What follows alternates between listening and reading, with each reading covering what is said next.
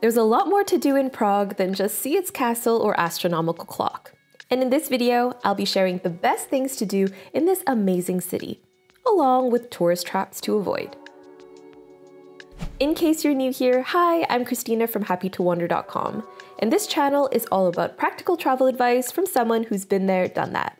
So be sure to like and subscribe if that sounds like your kind of thing, and be sure to stick around until the end for a free map that has everything from this video pinned for your convenience. Now, let's start off our list with an obvious one, and that's to wander through Prague's Old Town, the most beautiful and also the most crowded and touristy part of the city. The most famous square to visit here is the aptly named Old Town Square, a nice place to start your sightseeing tour, especially first thing in the morning because it can get so busy here. One highlight is a visit to the imposing Old Town Hall building, which you can explore with a tour or through a climb to the top, where you can drool over amazing views of Prague. There's also a few churches to see here as well, including the iconic Týn Cathedral and St. Nicholas Church. Plus the city's famous astronomical clock, the oldest functioning one in the world, originally placed here in the year 1410. This clock is definitely beautiful, though it's always packed at the hourly mark because of the free show featuring moving figures that takes place. I'd say to not get your hopes up for this because it's honestly very short and not the most exciting show. But the clock itself is definitely worth seeing. Now, while the square is very nice to admire, do beware that this is tourist central when it comes to Prague. So there are a lot of potential traps to avoid including the street food vendors that show prices here based on 100 gram servings, making it very easy to overpay by accident depending on the quantity that they serve you. I would personally avoid eating here. Speaking of places to avoid, the infamous Karlova Street in Old Town is also well known for its concentration of tourist traps and tacky absinthe shops, so best not to spend too much time there either.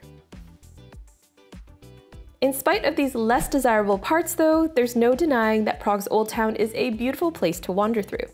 Some highlights for me include the Jewish Quarter, home to a number of beautiful synagogues that you can access with just a single ticket, including the stunning Spanish synagogue and the Old New Synagogue, which is actually the oldest functioning one in Europe. There's also the distinctive Powder Tower, which was completed in 1475, named for its previous function as a gunpowder store, though today it's mainly a photo op and viewing platform. As well as the House of the Black Madonna, a beautiful cubist building that's home to a swanky cafe, a museum, and a cool stairwell shaped like a light bulb. Another cool spot is the Clementinum, home to one of the most beautiful libraries in the world. Though sadly, you can only admire it from afar as visitors aren't allowed to step foot inside. And to be honest, you don't really get to see a lot. The views here are nice though, but be sure to book in advance as this is a very popular spot. Speaking of libraries, at the Municipal Library of Prague, there's another hidden gem turned viral hotspot. This infinite book tower made of over 8,000 books. While it's free to see, I should warn you that mirrors are cleverly used to get this cool infinity effect. So there aren't really as many books as you might expect. All to say, there is plenty to see in Old Town, so be sure to take some time to explore it properly. Next, there's the world famous Charles Bridge, a stunning 14th century stone bridge lined with 75 statues. From here, you can see some of the city's most iconic views, as well as plenty of artists, musicians, and your fellow tourists. Inevitably, you'll cross this bridge when in Prague, but getting here early is key to enjoying it properly without crowds. There's also the Old Town Bridge Tower here, which offers some really beautiful views. But honestly, it gets so crowded that I can't really recommend it at busy times like sunset, which is when I went. Especially since you're practically stepping over people and there's not much space to walk. Alternatively, there is a similar tower on the other side of the bridge, where you'll find the Lesser Town Bridge Towers, with one offering its own viewing platform. Now, once we get across the bridge, we approach our next top thing to do in Prague, which is to visit Prague Castle. Known as the world's largest castle complex, this massive attraction dates back to the 9th century, serving as the seat of power for the kings of Bohemia once upon a time. And today it is still the official residence of the Czech president, as well as a major tourist attraction, with a number of big landmarks, including the St. Vitus Cathedral, which you can climb up for some of the highest and most dizzying views of the city. There's also the Royal Palace here, and Golden Lane, known for its picturesque, colorful houses. To be honest, if crowds aren't your thing and you're tight on time, I wouldn't necessarily prioritize spending a lot of time here, because there are so many other cool things to do in Prague, including another castle complex in Prague that gets a fraction of the crowds. But we'll discuss that one a little bit later. First though, let's discuss another must-do near Prague Castle, and that's to explore the Malá Strana, or the Lesser Town, home to tons of pretty streets and nice views, especially along the river. Main sites here include Kampa Island, which is home to one of Prague's most photographed attractions, the John Lennon Wall. Once a symbol of youth rebellion against the Czech communist regime, and today a canvas for messages of hope and peace from around the world. It gets very, very busy here, so I'd recommend coming early in the morning, and I should stress that it is the most fun if you get to leave your own mark too. Plus, don't forget to have a little walk around the rest of Kampa Island. It's small, compact, and very pretty. You might even stumble upon some of Prague's most bizarre pieces of public art, these crawling babies. One of the many quirky public art pieces in the city, which I'll be pinning on my free map. Now, speaking of this free map, this week's video is sponsored by Airalo, my go-to eSIM provider that provides instant and affordable connectivity for over 200 countries and regions.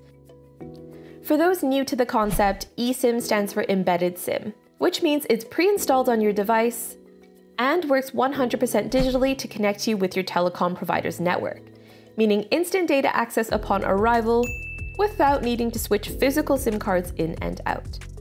Best of all, it's actually cheaper than roaming. eSIMs work especially well if you need coverage across multiple destinations, thanks to Airalo's regional SIMs, which work across multiple countries. Data is more important than ever these days in big cities like Prague, where you'll need it for navigation, translation, and booking tickets on the go. Luckily, Airalo eSIMs make the process super quick and easy. If you need a full tutorial for setup, you can check out my complete Airalo guide for step-by-step -step instructions, and be sure to scan this QR code for a link to download the app. This code here will also get you a discount. Thanks again to Airalo for sponsoring this week's video. Now, elsewhere in the Malá Strana, you'll find some cool churches like St. Nicholas Church, which is known for its beautiful frescoes, and the Church of Our Lady Victorious, famous for housing the infant Jesus of Prague statuette, which has its own little wardrobe of outfits that you can see in the unique museum of the infant Jesus. Definitely a quirkier Prague attraction, but worth a look if you're in the area. There's a number of pretty gardens to explore in this neighborhood as well, including the free Wallenstein Garden, as well as paid options like the romantic palace gardens just beneath the castle. Finally, there's some unique pieces of public art to see here as well, like the infamous automated peeing statues. Now, let's continue with another nice must-do around the Malá Strana, and that's to check out Petřín Hill. Accessible either through a sweaty uphill climb or through a cute funicular. Crowning the scenic hill is Prague's own Eiffel Tower-esque structure, built in 1891. Today, you can actually climb or take an elevator up top for more sweeping views. Another spot to check out here is the infamous Magical Cavern, a former mill that has been converted into a spooky and mysterious art gallery populated with fantasy paintings. This dark cavern-like gallery is definitely a bit strange, but worth a look if you're searching for something a little different to do in Prague. Close to here are some other nice spots like the Strahov Monastery, which was founded in the 12th century and is today home to a beautiful library with rare manuscripts and frescoes, along with a nice brewery just outside where you can enjoy a beer to reward all your sightseeing efforts. It's worth noting at this point, though, that Prague is a city filled with amazing hills and therefore amazing views. So while this video covers some of the best known ones, be sure to check out some other lesser known spots too if your goal is to get off the beaten path. Again, I'll be pinning more options on my free map. One fun gem can be found at the NH Prague City Hotel, which has its own special free funicular access to the left of reception that takes you on a free ride up the hill to another one of its buildings. Though be sure to double check times because some busier time slots I've read are now reserved only for hotel guests. Another great place for views and sightseeing can be found further south over at Vyšehrad Castle. This castle is home to a number of nice sights, including great views of the river and landmarks like the Basilica of St. Peter and St. Paul, said to be home to a piece of St. Valentine's shoulder blade as well as the very peaceful and very beautiful Vyšehrad Cemetery. For those interested in a more peaceful alternative to Prague Castle, I can definitely recommend this one. While a little bit outside of the central core, this castle complex is right by Prague's new town, which is also worth exploring, with some unique highlights including the iconic dancing house, which is just an office building, but a very fun photo op. There's also the famous 11 meter tall rotating head statue of Franz Kafka, made up of 42 mobile layers. Another highlight of Newtown is Wenceslas Square. To be honest, while this square has been the site of countless important moments in the city's history, and is commonly named in travel guides as a must-see, today I don't really find it to be the most exciting place to visit as it mainly serves as a commercial hub. Still, it does have a very nice landmark to check out, which is the main building of the Czech National Museum, home to various displays about history and science, but also worth admiring from the outside. Another fun place right by here is the Palác Lucerna. This beautiful Art Nouveau shopping complex is a photogenic wonder to see on its own, but it also has some unique features like a strange statue of St. Wenceslas riding what appears to be a dead upside down horse. Supposedly commentary on the changing perception of history and legends in the modern Czech identity. It's also a fun place to sip on a beer. Another unique spot in this complex is the Paternoster lift that whisks you up to a very cool rooftop hangout spot, unique in that this lift has no doors and neither stops or slows down, making for a vaguely thrilling ride.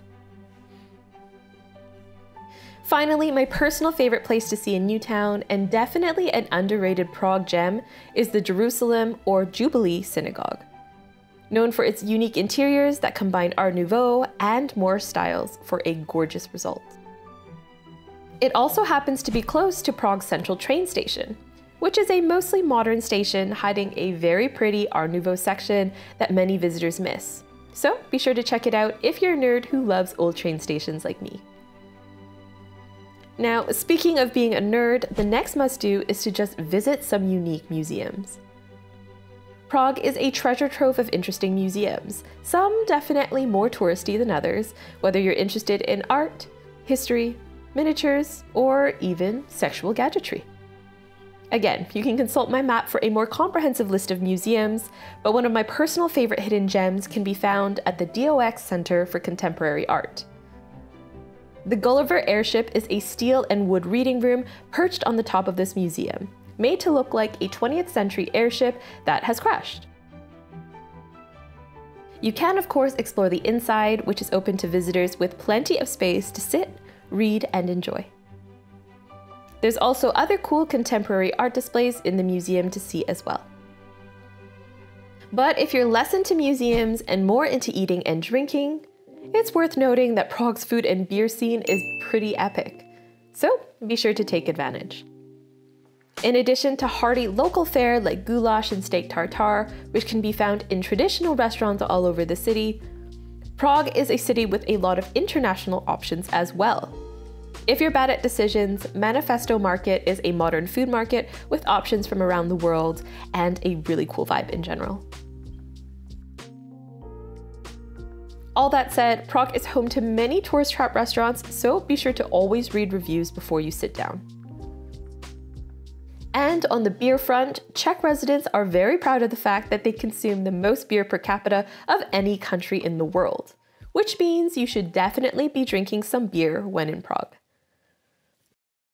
Now, this video has mainly covered sites in the touristic heart of Prague. But if time allows, there's definitely other neighborhoods to check out with a lot more to offer, like in Žižkov, for instance, a lively neighborhood home to the Žižkov Tower, which is the highest building in the city, or the Holešovice district, which is home to some very cool spots like the unique and alternative Cross Club, the DOX Center for Contemporary Art, as I previously mentioned, and Letná Park, commonly considered to be among the city's nicest green spaces, with some of the best views in town. Honestly, though, Prague can be a stressful city to visit if you're just darting from site to site. So, for a final relaxing Prague activity, be sure to spend some time along the river, whether with a sightseeing cruise or just going for a nice scenic walk. Carving out these little pockets of calm is key to making the most of your time in the city. Alright, thank you so much for watching. Be sure to check out this link for a free map that pins all the activities mentioned in the video. And I'll see you guys next week. Bye!